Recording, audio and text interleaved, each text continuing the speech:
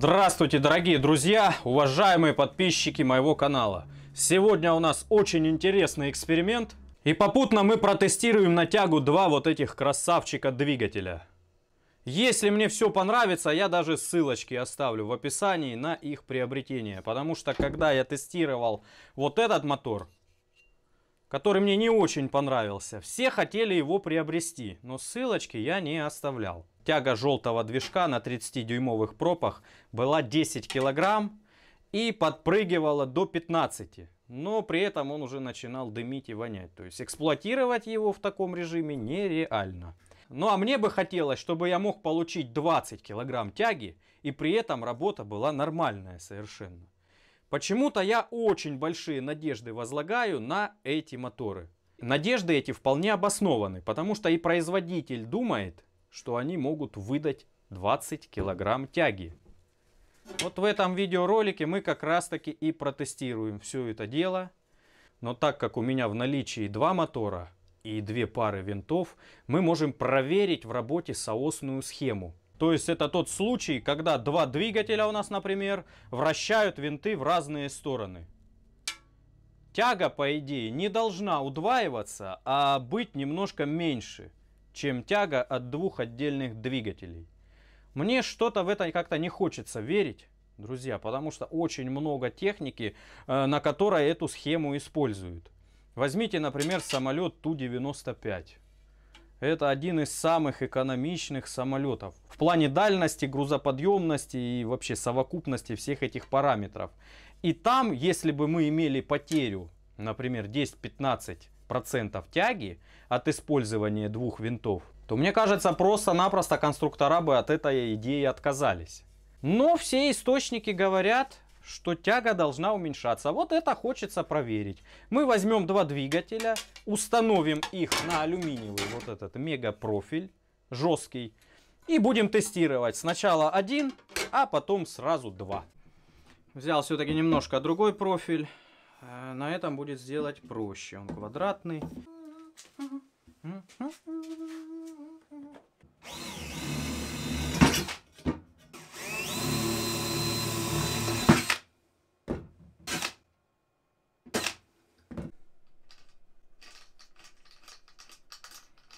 Сложнее всего второй двигатель будет прикручивать, потому что как-то надо будет исхитряться вот туда залазить вовнутрь.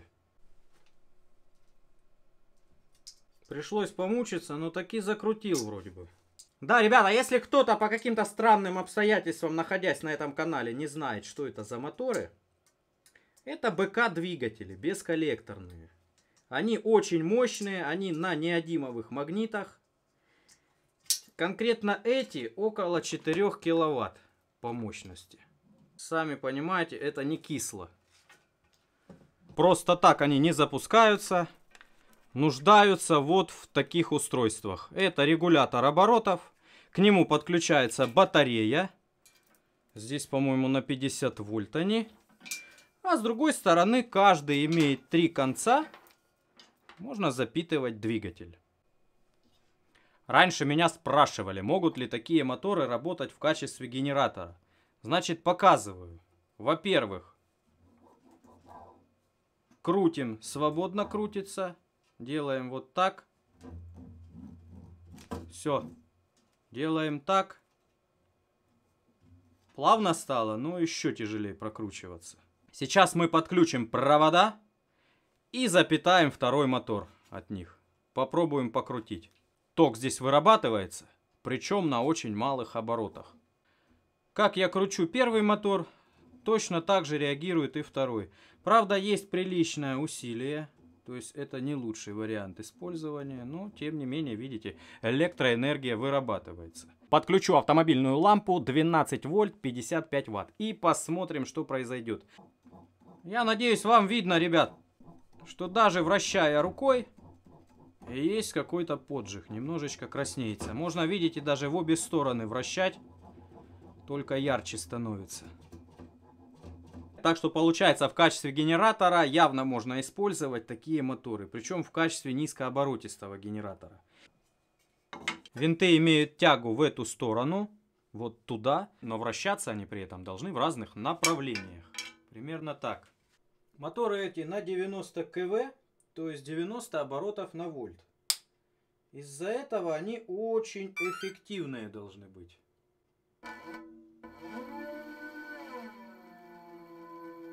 Минимальные оборотики. Видите, как медленно крутится.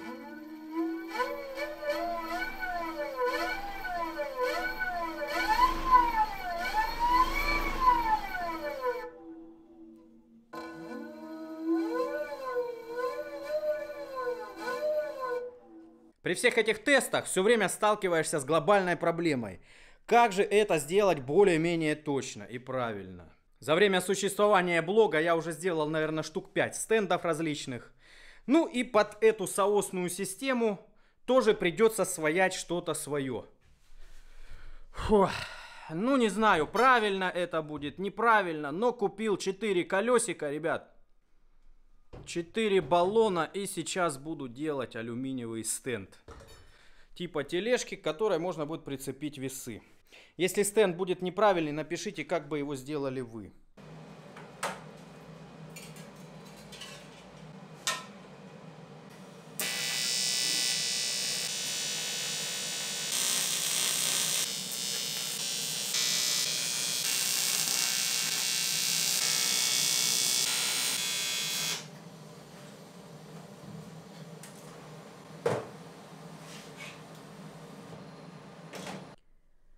Ребята, стенд готов. Пока я его создавал, придумал еще один эксперимент. Честно говоря, очень много раз задавали мне вопрос, а почему бы, например, не поставить вместо двух лопастей 4? Вот мы как раз таки и проверим, что будет, если сделать винт четырехлопастным. Значит, план, ребята, сейчас у нас такой.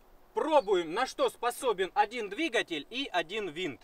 Потом делаем вот так ну а потом ставлю все винты и будет у нас соосная схема, как на Ту-95. Выбрал такую локацию, что даже некуда крепить, ребят. Придется крепить к автомобилю. Возможно, даже оно сдвинет его с места.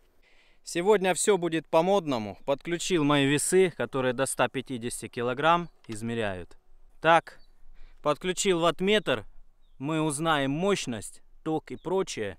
И подключил все это дело на приемник, чтобы от пульта запитывать. Смотрим, как выглядит. Звук, конечно, божественный. Моща должна быть адская. Ну что ж, ребят, стартуем. Сы работают, все работает.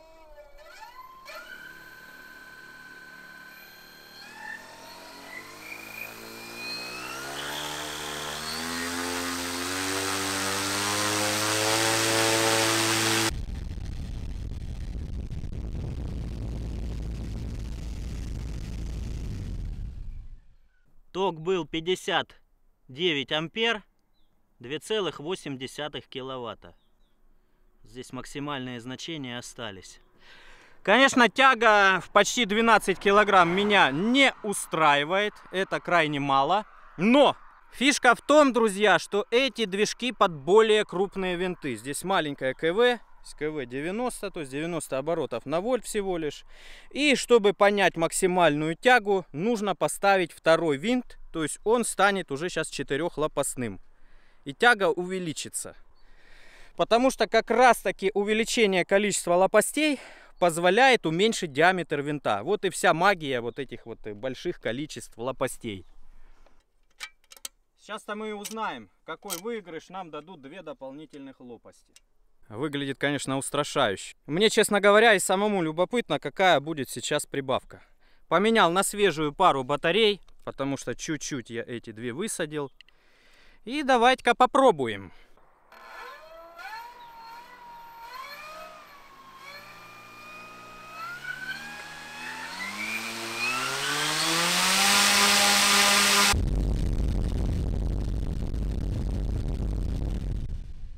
Я увидел цифру в 14 килограмм тяги. До двадцатки не дотянуло. Ну, видимо, нужен винт с меньшим шагом винта. Смотрим на параметры. 88 ампер и 4100 ватт. Выдал этот двигатель. Итак, ребята, что получается? При двухкратном увеличении количества лопастей, с двух лопастей на 4 мы повысили, тяга возросла менее чем на 20%. А ток, ну, примерно на 30% увеличился. Ну, увеличение тока непропорциональное связано с особенностями работы без коллекторных двигателей. Чем больше ему киловатт даешь, тем он как-то менее эффективно работает. 20 килограмм тяги я опять не достиг. Поэтому придется ту технику, которую я задумал, делать именно на них. Ну, в общем-то, они все равно в разы лучше, чем тот желтый. Этот движок не греется он быстрее посадит батареи, чем разогреется. Потому что с таким диким током я даже не знаю, какие батареи надо использовать. Какие-то раза в 3-4 больше. Потому что двигателя будет 4 использоваться. И такие вот дела. Ладно, давайте максимальную тягу сейчас устроим. И сравним, что будет, если включить соосную схему. То есть, по идее, должна тяга в два раза возрасти. 14 килограмм умножаем на 2 Получается 28 килограмм. Но как это будет на деле, мы посмотрим. Ту-95 готов к взлету. Дай немножко газку.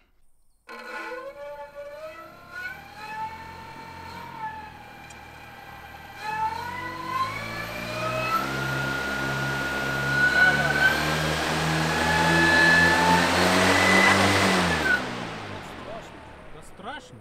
Кто говорит, что не страшно? Давай.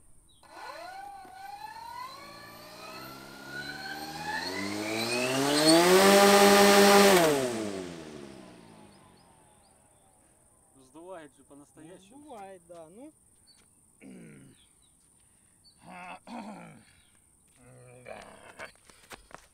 Включаю весы на нолик. Все. Давай.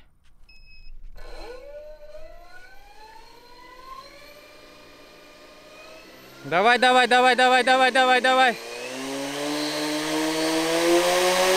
Выключай. Жесть. Что-то это, весы не работают. Да, блин. Так, так, ноль, ноль. Все, давай. Так, пошел.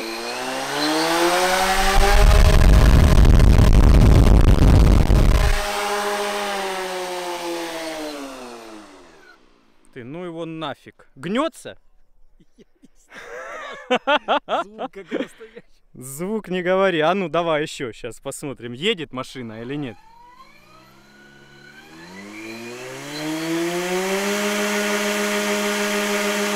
Вырубай! Ну звук жесткий, но тяга всего лишь сколько там было? 20 килограмм? 20, ну может до 21 раскачивалась. Вот так, друзья, с 14 до 21. Вывод делаем такой, что не особо-то эта соосная схема что дает. Еще интересно, падает ли нагрузка. Нагрузка должна, по идее, падать на движки. Да, получается, было 70 ампер максимум и 3,8 киловатта на каждый двигатель. Все-таки я хотел бы, чтобы каждый двигатель по 20 килограмм, а соосная схема 40 килограмм давала. А ну видите как? Реально маленький КПД получается вот при такой компоновке, к сожалению.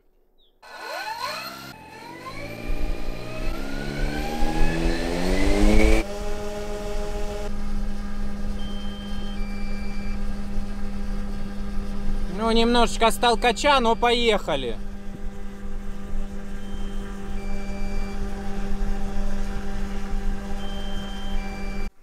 Ну что ты, джазу чуть-чуть попробуешь дать?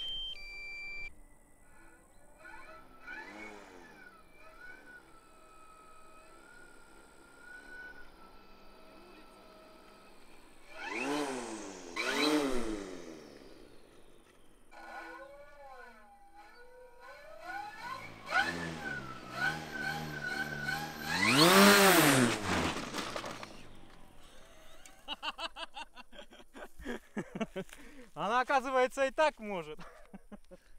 Мы вообще-то добивались другого.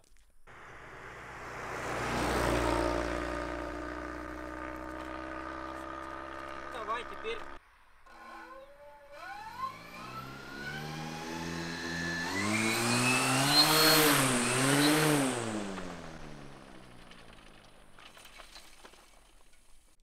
В итоге что у нас получается? Я собирался с одного мотора из двух лопастей выжимать 20 килограмм. Что, собственно, и написано на сайте, но я пока проверить никак обратное не могу, ребят, потому что у меня двигатель 90 КВ, а с 30-дюймовыми винтами, с теми, которыми я это все совершал, такие моторы при 120 КВ выдают всю ту тягу. И получается, что мне пришлось второй мотор подключить, да еще и сделать каждый винт четырехлопастным, чтобы получить мои 20 килограмм тяги. А так 12 килограмм всего лишь.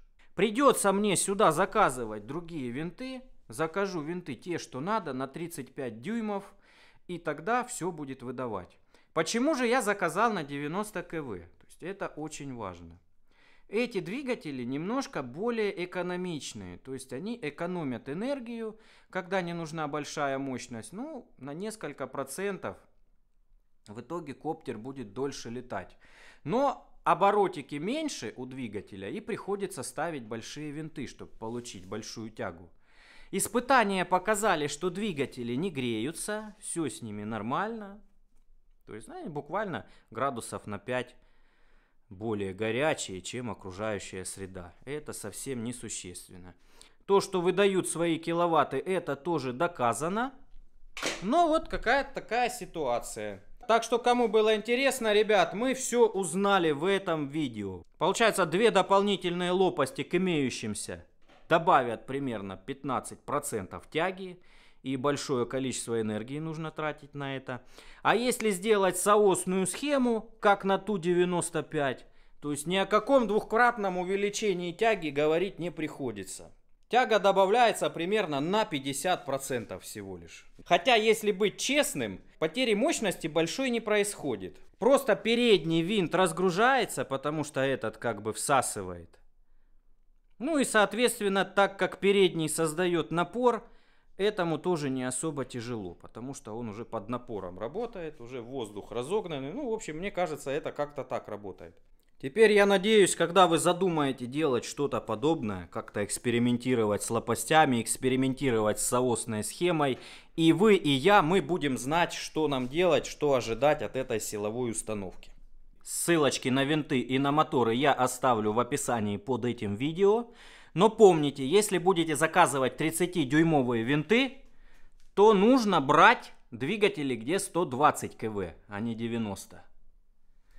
Тогда можно будет полноценную тягу получить. Можете дождаться, когда ко мне придут 35-дюймовые винты, я еще раз буду все это дело тестировать, смотреть, ну, по крайней мере, один двигатель я точно протестирую. И тогда можно будет понять и сравнить, правду ли говорят китайцы, что он может под 20 килограмм выдавать. То есть там 19 с половиной, 18,8, то есть там при немножко разных условиях под, под 20 килограмм должна быть тяга. Ну, а у меня на этом все, ребята. Кому было интересно, подписывайтесь на канал, поддержите лайком. Всем пока! До новых встреч!